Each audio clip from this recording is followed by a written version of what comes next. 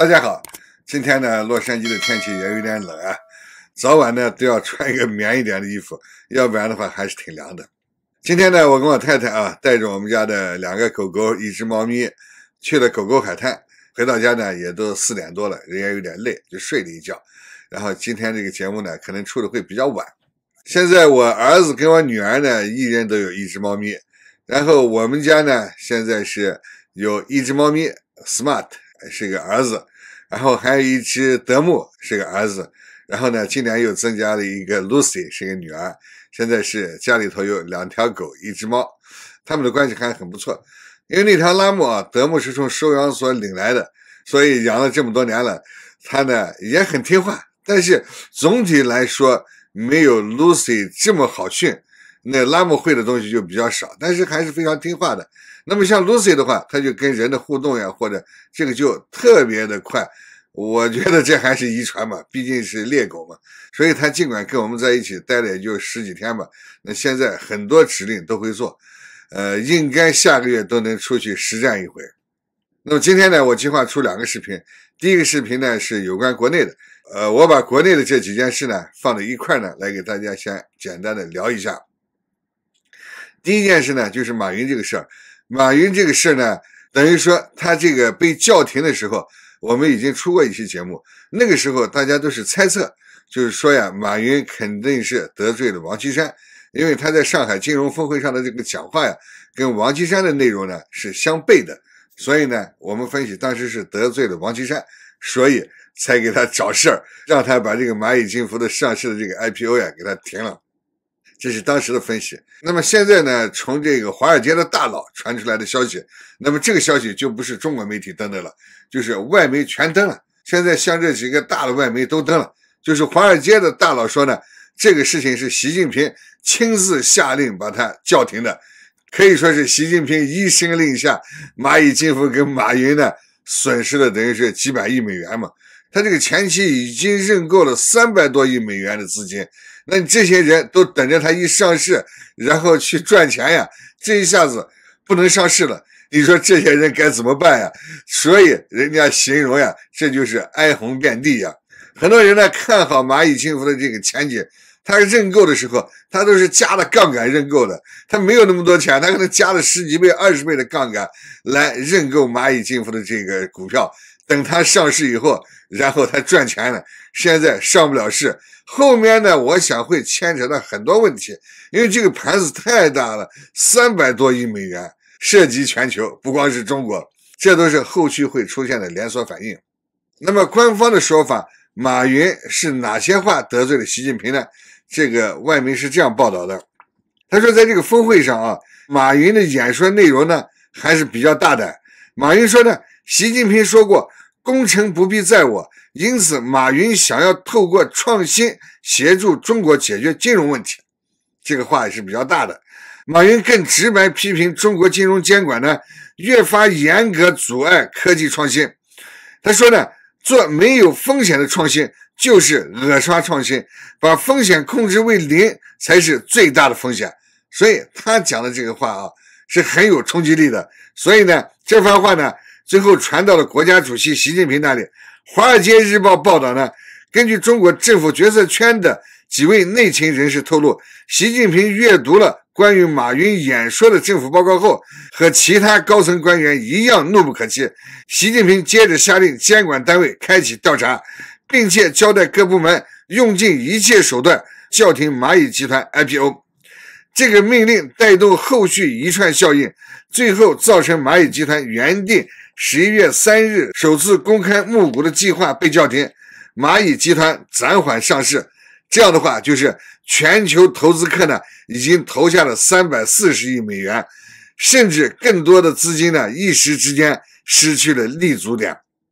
目前还不清楚暂缓上市的做法是习近平本人呢，还是其他官员首先提出的。当然，这个已经不重要了。现在蚂蚁上市这个事可以说遥遥无期了。政府在处理民间企业的时候啊，一旦把你弄了，那再恢复那个过程就非常非常长了。我想这个事一拖，可能就撂黄了。可能后面呢，马云还有别的灾祸上身，这个都不好说。因为中国现在啊。打土豪的这种呼声太高了，小学生演节目都是演的那打土豪嘛，穿着红军的衣服，拿着那个大砍刀，然后压着戴高帽子的土豪，对不对？那么这种风声呀，从全国一旦铺开，那哪些是土豪呢？马云就是土豪的代表嘛。所以这个刀什么时候砍到马云头上，我们还要拭目以待。这是官方的说法。那么现在呢，坊间还有一种传说，说马云呀私下里呢骂过习近平，说马云呢在一个比较私密的场合呢骂习近平是畜生，就是对习近平说了很多不满，最后用了这个脏字，就是说习近平是畜生。那么这个话呢，据说是传到习近平耳朵去了，所以习近平是痛下杀手，也刚好找到这个事儿，就把马云拿下。那习近平肯定想嘛，你们这些企业家不就是官员的白手套吗？没有共产党，你们能发到今天吗？所以发了一句话，让你看一看，这个世界上到底谁说了算。大概呢，马云的事情呢，就是这两个版本，还不是王岐山下的命令。现在华尔街这边已经透出消息，命令直接是习近平下的。那么起因呢，是一个他在上海峰会上讲那个话呢，冒犯了习近平。另外呢，有人说呢，他私下里呢对习近平大不敬，这是有关马云的。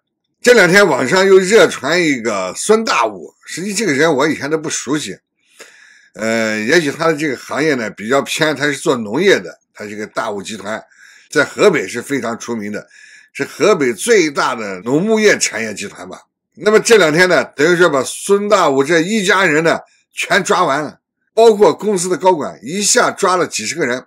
全抓完了，而且说是异地办案，他是徐水的，说是保定的公安局去抓的人，去到这边抓人的时候呢，去了三轿子车的特警，共产党也是下了大力气了，他是全国统一行动，因为他这个集团在全国各地都有点，他不光是在河北抓人，他是在全国各地把他的家人跟他的高管全国统一行动，一网打尽。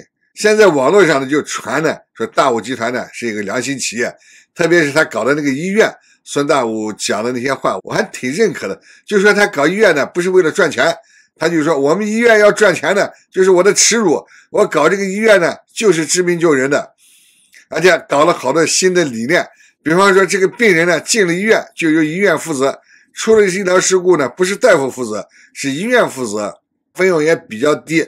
做一个 CT 等等这些常规检查呢，也好像就是十来块钱，深受老百姓的喜爱。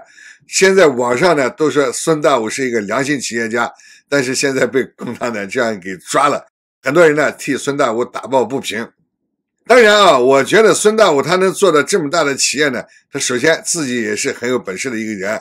同样，我们不能否认的是，他肯定跟当地的政商呢有绝对的关系。不然的话，中国的企业不可能做到那么大，特别是他这种农业项目，这个牵扯的面就更多了。在中国待过的人就知道，跟农村的事情打交道啊，那是非常非常复杂的。他能做到今天，证明孙大武确实是可以的。现在很多人说呢，就说是啊，这个中共呀，把这个良心企业家给抓了。我觉得一个企业家啊，能到这一步呢，也算是一个良心企业家，就是赚了钱呢。回馈社会也挺好的，那么他为什么会被抓呢？那么我想啊，他跟马云那个情况肯定是近似的，肯定是把哪个省给得罪了，别人才来找他的事情嘛。而且是异地来抓他呀，给他安的罪名是什么呢？就是寻衅滋事跟破坏生产罪。寻衅滋事这本来就是个口袋罪嘛，什么罪都能往里头装嘛。而且破坏生产罪。这个也是个很含糊的呀，你是破坏了哪一类生产呢？那么这个呢，我上网就查了一下，但是对他这个案件呢都没有详细的介绍。大家说的最多的就是一个土地纠纷，就是他用了他们村里头的地，跟这个附近的有个国营农场的地呢，在这里头呢有纠纷，这个常年就在这有纠纷吧，很多年了。那么今年呢，孙大武呢可能就是采取了一些上访的政策。维权的政策，他这个问题呢老得不到解决呢，他就用了这样的一些办法。有人说呢，他这些群众呢都是他雇的，去一个白天呢是一百块，一天一夜呢是两百块，就是你去了，你在那吃住呢，一天是两百块。我想他肯定是到市场去上网吧，就是他用了这样一些办法来跟政府对抗。那么我想他这个行为绝对是惹了谁，所以才有今天的结果。在共产党面前，你这些民营企业算个啥嘛？说把你灭了，那不是一瞬间的事吗？按照他的财力，他能比过马云吗？他能比过吴晓辉吗？他能比过王健林吗？对不对？那些人不是一下都收拾了？何况你一个孙大武呢？一个农民企业家呢？对不对？而且是连锅端，这个比较狠。孙大伟创业都是一九八几年从养鸡开始的，也是非常不容易的一个人，一个农民企业家。那么走到今天，我想也没有办法。你碰到了打土豪的时代，那你怎么弄也没有办法。我觉得他这个事啊，他这个上访，这个土地纠纷，也可能是一方面的事情，深层次的也可能与国家打土豪的政策有关系。因为那个土地纠纷嘛，政府能解决吗？你村里跟国营农场之间的事儿嘛，这个有啥讲不清楚的呢？对不对？当年国营农场征这个农村的地。那都是有协议的嘛，现在怎么解决？那也是有土地政策的嘛，对不对？就是你孙大悟上访，你花钱上访，也不至于说把全家人去逮了吧，对不对？能这么狠的出手，那么肯定是两方面的因素都有，既得罪了人，又符合打土豪的政策。这是姜太公的一些分析啊，呃，大家也可以顺着我的思路去想吧。假如说仅仅是一个方面。他没有必要去逮全家人嘛？这两个罪名又不是很大的罪名，一个是寻衅滋事，一个是破坏生产罪，你就把别人全家，包括企业的高管全都逮了，你想想，这个是不是有个赶尽杀绝的意味？所以我觉得这个政治信号也是有一点吧。最后呢，我们再说一个，现在中共割韭菜的最高境界，确实割出了一个境界。那么我把下面这个故事呢，给大家讲一下。他说呢，安庆市公管局啊，一个八百二十六万的项目，有数百家企业投标，就是大家看到这个政府有一个招标通告，有一个八百二十六万的项目，就是发了标以后，有几百家企业过来投标，那么证明啊，现在这个市场确实很艰难了。有一个标呀，这八百多万的项目又不是很大嘛，但是就有几百个企业来竞标，看看现在中国的这个环境，确实钱很难赚了。那么这里头呢，它有一个情况出现了，其中一百四十六家企业呢出现了额编号异常相同、主价异常相同等情形，对不对？就是有一百四十六家企业报价了什么竞标的这些竞标的这些材料啊，大家竞过标就知道，可能很多东西都是近似的或者是相同的，最终被认定为串通投标。就你们这一百六十四家企业呢，是串通投标，最后决定没收一百四十六家企业的投标保证金，各十六万，合计呢两千三百三十六万，高，确实是高。我发个标，然后你们集中过来在这投标，然后我把你们找个借口一抓，把这个保证金一没收，直接韭菜割了两千三百三十六万，大家去看一看吧。你这个项目的总共的标的才是八百多万，然后我这一下子把你这一百四十六家企业的韭菜给你全都割了，所以姜太公说呢，这是集中钓鱼式割韭菜，对不对？直接把这些企业集中起来，一镰刀下去，把这些韭菜全都割了。而且你想想吧，就是这个项目你做了八百多万的项目，你能赚多少钱？对不对？你看人家这一下子放了一个鱼饵，收割的韭菜是多少呢？两千三百三十六万，我觉得这个太神了。那么我们再结合现在全国各地装这个摄像头、抓这个电动车违法等等这些以罚款创收，那么这个也能看来啊，这个地方政府的财政啊也确实有问题。